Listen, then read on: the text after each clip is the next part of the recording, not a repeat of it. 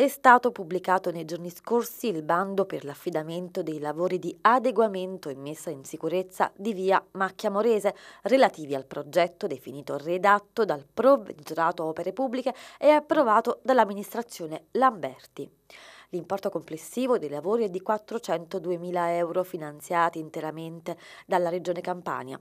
L'intervento che si pone l'obiettivo di ripristinare in maniera funzionale la viabilità sull'arteria in questione che collega Santa Tecla a San Vito.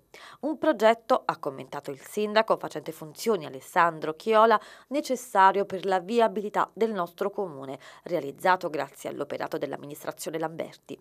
Con l'impegno che abbiamo messo in campo abbiamo dato una risposta risposta concreta ai cittadini che attendevano da anni l'avvio dei lavori.